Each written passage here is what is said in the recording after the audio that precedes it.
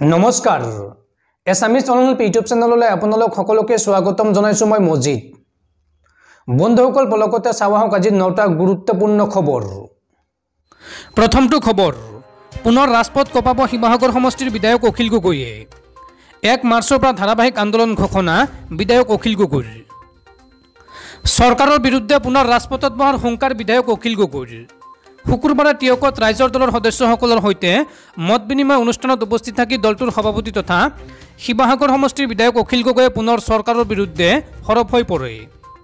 Doctor Himanta Biswa Sarma নেতৃত্বাধীন ৰাজ্য চৰকাৰে এক লাখ নিবনুৱাক চাকৰি দিব নোৱাৰাক লৈ চৰকাৰৰ বিৰুদ্ধে ক্ষোভ উজাৰে বিধায়ক অখিল গগৈয়ে। যদিহে এক মাৰ্চৰ ভিতৰত এক লাখ নিবনুৱাক চৰকাৰী চাকৰি প্ৰদানত ব্যৰ্থ হয় তেন্তে কৃষক নেতাৰূপে পৰিচিত তথা শিৱসাগৰ সমষ্টিৰ বিধায়কগৰাকীয়ে এক মাৰ্চৰ পৰা আন্দোলনত বহাৰ কথা ঘোষণা কৰে। ইয়াৰ মাজতে ভাষণ প্ৰসংগত বিধায়কগৰাকীয়ে সংবাদ মাধ্যমক সমালোচনা কৰি কয় যে ৰাজ্যৰ সংবাদ মাধ্যমে চৰকাৰৰ গুণ গুণ গাই থাকে কিন্তু বিৰোধীক সমালোচনা কৰে। পৰৱৰ্তী খবৰ প্ৰসংগ নেলি হত্যাকাণ্ড। গৰৈমাৰীৰ হাঁচুৰিত কলাবেজ পৰিধান কৰি সদৰ্শম সংখ্যালঘু ছাত্ৰ সন্থা চমুকৈ আমচুৰ প্ৰতিবাদ।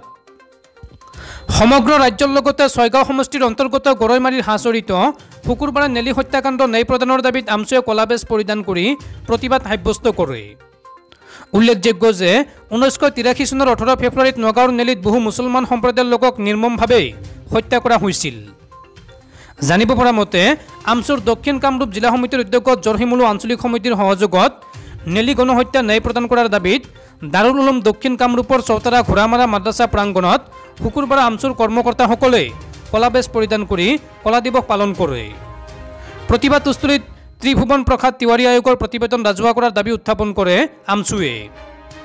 কাৰ্যসূচীত আমচুৰ দক্ষিণ কামৰূপ জিলা সমিতিৰ সভাপতি ইমদাদ হুছেইন গৰৈমাৰী আঞ্চলিক সমিতিৰ সভাপতি ইমৰান হক প্ৰমুখ আমচুৰ কৰ্মকৰ্তাসকল অংশগ্ৰহণ কৰে। পৰৱৰ্তী খবৰ।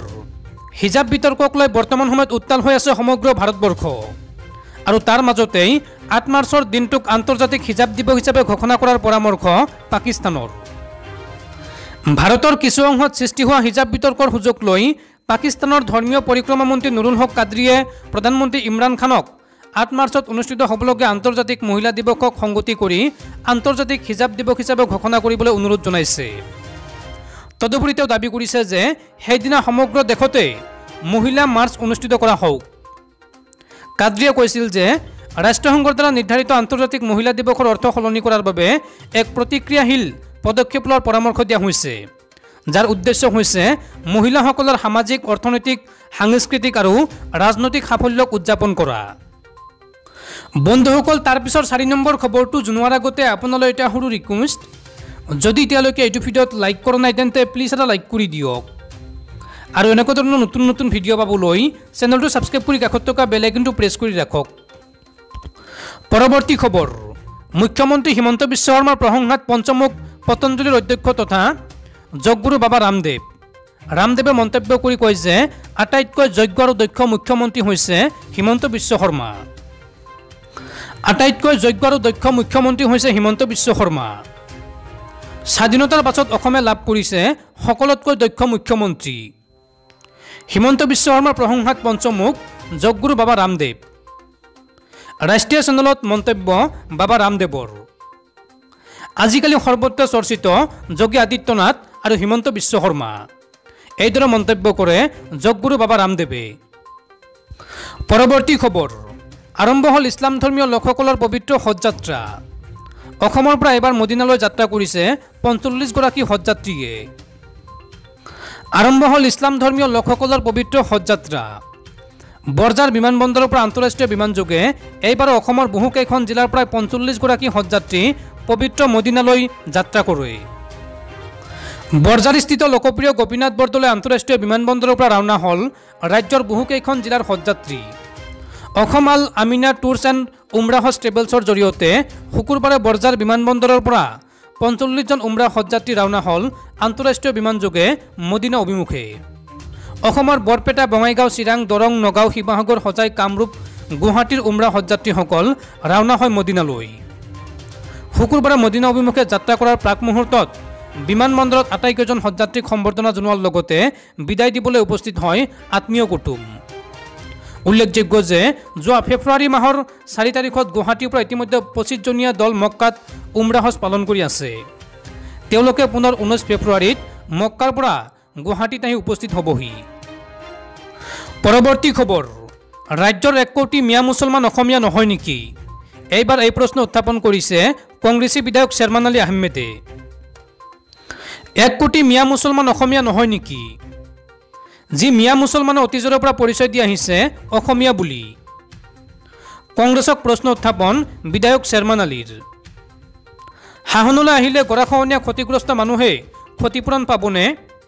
এই প্ৰশ্ন উত্থাপন কৰিছে বিধায়ক শ্বেৰমান আলীয়ে। উদ্ধাৰ কৰিব পাৰিবনে? পোন্ধৰ হাজাৰ ৱাকফ সম্পত্তি এই প্ৰশ্ন উত্থাপন কৰিছে বিধায়কগৰাকীয়ে। কিয় আজি পৰ্যন্ত ন্যায় নাপালে? নেলি চাউল খোৱা হত্যাকাণ্ড নিহতই। এই প্ৰশ্ন উত্থাপন কৰিছে বিধায়ক শ্বেৰমান আলীয়ে। পৰৱৰ্তী খবৰ ৰাছিয়াৰ প্ৰতিশ্ৰুতি মিছা। গোপনে যুদ্ধৰ প্ৰস্তুতি চলাইছে ৰাছিয়াই। শেহতীয়াকৈ ৰাছিয়া আৰু ইউক্ৰেইনৰ মাজৰ যুদ্ধৰ প্ৰস্তুতিক লৈ এই মন্তব্য কৰিছে আমেৰিকা যুক্তৰাষ্ট্ৰই। ৰাছিয়াই প্ৰতিশ্ৰুতি দিলেও আমেৰিকাই দেশখনৰ ওপৰত ভৰসা কৰা নাই। ইউক্ৰেইনৰ পৰা সেনা প্ৰত্যাহাৰৰ প্ৰতিশ্ৰুতি দিয়াৰ পিছতো ৰাছিয়াই দেশখনৰ বিৰুদ্ধে গোপনে যুদ্ধ চলাব বুলি আশংকা কৰিছে হোৱাইট হাউছে। বৃহস্পতিবাৰে হোৱাইট হাউচৰ পৰা স্পষ্ট কৰি দিয়া হৈছে যে যিকোনো মুহূৰ্ততে ইউক্ৰেইনৰ ওপৰত সামৰিক আগ্ৰাসন কৰিব পাৰে ৰুছ বাহিনীয়ে।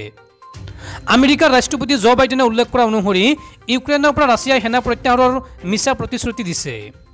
বৰঞ্চ গোপনে দেশখনৰ বিৰুদ্ধে আক্ৰমণ চলোৱাৰ প্ৰস্তুতি চলাইছে ভ্লাডিমিৰ পুটিনৰ সেনাই। সেই উদ্দেশ্যে ইউক্ৰেইন সীমান্তত অতিৰিক্তভাৱে সাত হাজাৰ সৈনিকক মোতায়েন কৰিছে ৰাছিয়াই। ইফালে মাৰ্কিন প্ৰতিৰক্ষা দপ্তৰৰ এগৰাকী বিষয়ববীয়াই উল্লেখ কৰিছে যে ৰাছিয়াই গোপনে ইউক্ৰেইন সীমান্তত যুদ্ধৰ প্ৰস্তুতি চলোৱাৰ তথ্য হোৱাইট হাউছে লাভ কৰিছে। সমগ্ৰ পূব ইউৰোপত ৰাছিয়াই যুদ্ধৰ আশংকা কঢ়িয়াই অনাৰ সময়তে ভাৰতে দেশখনত থকা নাগৰিকসকলৰ সহায়ৰ বাবে এক নিয়ন্ত্ৰণ কক্ষ স্থাপন কৰিছে। বিদেশ মন্ত্ৰালয়ৰ তৰফৰ পৰা উল্লেখ কৰা হৈছে যে ইউক্ৰেইনত থকা ভাৰতীয় লোকসকলৰ তথ্য লাভ আৰু তেওঁলোকক বিভিন্ন ধৰণে সহায় কৰিবলৈ কিয়েভ স্থিত ভাৰতীয় দূতাবাসৰ পৰা স্থাপন কৰা হৈছে চৌব্বিছ ঘণ্টাই সক্ৰিয় এক হেল্পলাইন নিয়ন্ত্ৰণ কক্ষ।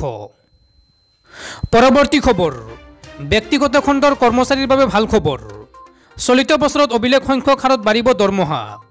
ভংগ হ'ব যোৱা পাঁচ বছৰৰ ৰেকৰ্ড। কৰ্মচাৰীৰ দৰমহা বৃদ্ধিৰ ক্ষেত্ৰত ভংগ হ'ব পূৰ্বৰ পাঁচ বছৰৰ অভিলেখ। চলিত বৰ্ষত এইসমূহ ঘৰুৱা প্ৰতিষ্ঠানে নিজৰ কৰ্মচাৰীৰ বেতন ন দশমিক ন শতাংশ পৰ্যন্ত বৃদ্ধি কৰাৰ সিদ্ধান্ত লৈছে। দুই হাজাৰ ষোল্ল চনত দহ দশমিক দুই শতাংশ বৃদ্ধিৰ পিছত এয়াই আটাইতকৈ বেছি।